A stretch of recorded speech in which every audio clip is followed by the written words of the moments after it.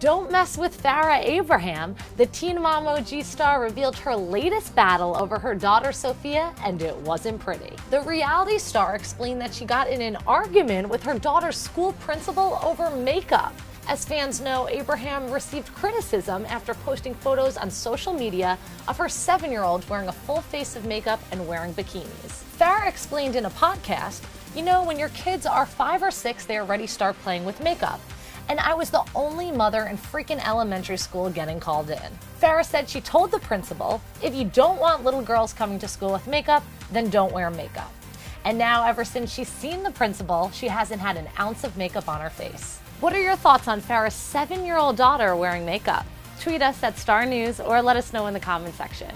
I'm Casey Madden, and for the most up to date celebrity and entertainment news, check out starmagazine.com.